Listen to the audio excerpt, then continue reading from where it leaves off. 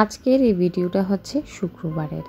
শুক্রবার দিনটা আমাদের কাছে একটু স্পেশাল হয়, কারণ এই শুক্রবারে বাচ্চাদের স্কুল থেকে শুরু করে আমাদের যাবতীয় যে কাজকর্ম থাকে, এখানেও কিছুটা ছুটি থাকে। যদিও গৃহিণীদের তেমন ছুটি থাকে না, তারপরেও বাচ্চাদের ছুটি হাজব্যান্ডের কাজকর্মের ছুটি সব কিছু মিলিয়ে কিন্তু শুক্রবার দিনটা একটু অন্যরকম থাকে।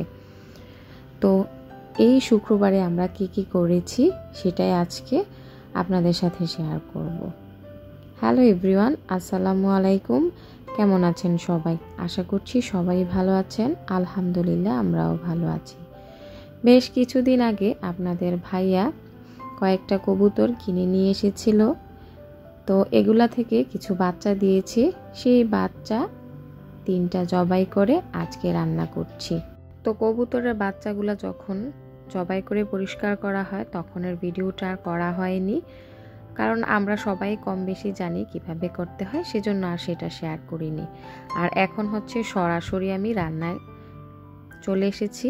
প্রথমে একটা কড়াইতে বেশ কিছুটা তেল দিয়ে অনেকটা পেঁয়াজ কুচি দিয়েছি। আমি আজকে এই রান্নাতে পেঁয়াজ বাটা দিব না, সেজন্য পেঁয়াজ কুচি একটু বেশি করে দিচ্ছি।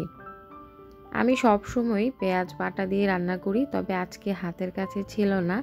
আর মোটামুটি একটু ঝামেলার মধ্যেও ছিলাম, সেজন্য তাড়াতাড়ি করেই রান্নাটা করে ফেলছিলাম।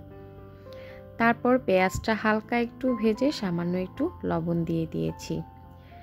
আজকের রান্নাটাতে আমি আদা, রসুন বাটা ছাড়া এক্সট্রা কোনো বাটা দিব না। অনেকের কাছে মনে হতে পারে, তাহলে এটা কীভাবে মাংস রান্না হবে? আসলে আজকে আমি গরম মশলা গুঁড়ো দিয়ে দিব, যেটা আমার নিজের হাতে বানানো। এই যে দেখুন, আদা, রসুন দিয়ে দিয়েছি, দিয়ে এটা বেশ কিছুটা সময় আমি নেড়ে চেড়ে নিব। আর আজকের রান্নাটা আমি চুলায় বসিয়েছি মানে মাটির চুলায়। তো বসানোর পরে খেয়াল করে দেখলাম যে চারপাশ থেকে কিন্তু প্রচুর বাতাস আসছে, সেজন্যই কিন্তু বারবার ধোয়া হচ্ছে। আর এখন যেহেতু বসন্তকাল চলে আসছে, চারপাশে কিন্তু শুধু বাতাস আর বাতাস। খুবই ভালো লাগে এই বাতাসটা। তারপর হচ্ছে আমি কেটে বেছে ধুয়ে রাখা কবুতরের মাংসগুলা দিয়ে দিয়েছি। সব কিছুই কিন্তু একসাথে দিয়ে আমি খুব ভালো করে কষিয়ে নিচ্ছি। অনেকে আছেন যারা কিনা আমার চেয়ে ভালোই রান্না করতে পারেন। তবে আমি কিন্তু খুব বেশি রান্না জানি না, যাই জানি না কেন সেটাই আপনাদের সাথে শেয়ার করছি। এখানে আমি হলুদ আর মরিচের গুঁড়া দিয়ে খুব ভালো করে কিছুটা সময় কষিয়ে নিয়েছি। এখন হচ্ছে আমি মাংসের জন্য যে স্পেশাল মশলাটা বানিয়েছিলাম, ওইটাই দিয়ে দিয়েছি। আমি বলে দিই, এটাতে আমি কি কি দিয়েছি? দিয়েছি তেজপাতা, এলাচ, দারচিনি, জিরা পাঁচ ফোড়ন মৌরি, মেথি আর হচ্ছে লং। সাথে ছিল গোলমরিচ আর ধনে। এগুলা আমি হাল কড়াইতে হালকা টেলে তারপরে ব্ল্যান্ডারে গুঁড়ো করে নিয়েছি। এই যে দেখুন, আমার কিন্তু রান্না শেষ। আর আজকে আমি রান্না করব কবুতরের মাংস তো রান্নাই করছি, সাথে বাঁধাকপি ভাজি আর হচ্ছে টক।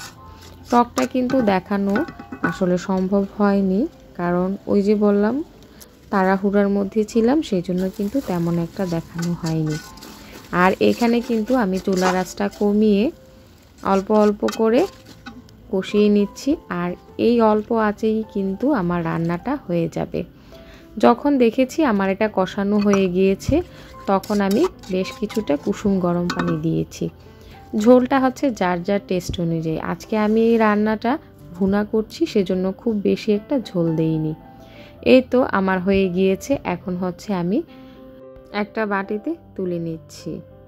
আর এইখানে আমি বসিয়ে দিব বাঁধাকপি ভাজিটা। বাঁধাকপি আমি প্রথমে ধুয়ে কুচি করে নিয়েছি, এখন হচ্ছে রান্নাটা বসিয়ে দিব। কড়াইটা পরিষ্কার করে নিয়ে এসেছি, কড়াইটাতে দিয়ে দিব সামান্য একটু তেল। এই যে দেখুন, ঝুরি ঝুরি করে কিন্তু আমি বাঁধাকপিটাকে কুচি করে নিয়েছি। কড়াইটা যখন শুকিয়ে যাবে পানিটা, তখন দিয়ে দিব তেল। তেলটা গরম হয়ে গেলে দিয়ে দিব বেশ কিছুটা পেঁয়াজ কুচি। আমি আজকে রান্নাটাতে ডিম দিব না, তবে মাঝে মধ্যে কিন্তু আমি ডিম দিয়েও রান্নাটা করি। আজকের রান্নাটা আমি শুধুমাত্র টমেটো দিয়েই করে দিব।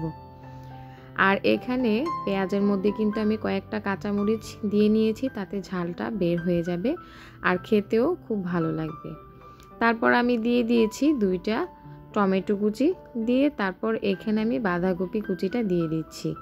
আর এই রান্নাতে খুব বেশি কিছু একটা আমি দেই না। বাঁধাকপি রান্নাটা এমনিতেই খুব ভালো লাগে খেতে।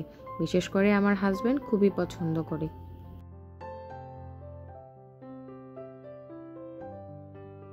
তারপর এখানে আমি সামান্য একটু হলুদ দিয়ে দেব। তাহলেই কিন্তু আমার হয়ে যাবে খুব মজার বাঁধাকপি ভাজিটা।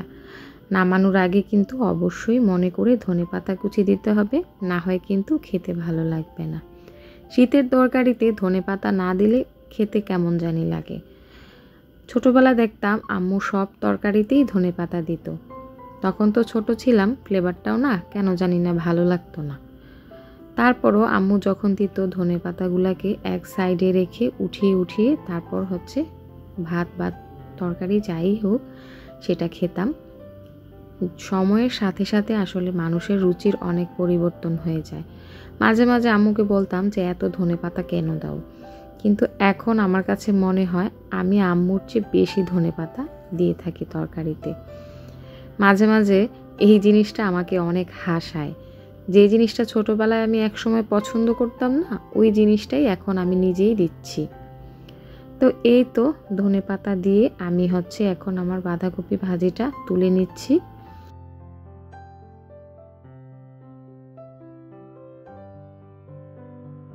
এই তো হয়ে গেল আমাদের আজকের দুপুরের আয়োজন। এখানে হচ্ছে বাঁধাকপি ভাজি আর এটা হচ্ছে কবুতরের মাংস ভুনা আর সাথে হচ্ছে টক। টকটা রেসিপি শেয়ার করিনি, অন্য কোনো এক সময় আমি শেয়ার করে দিব।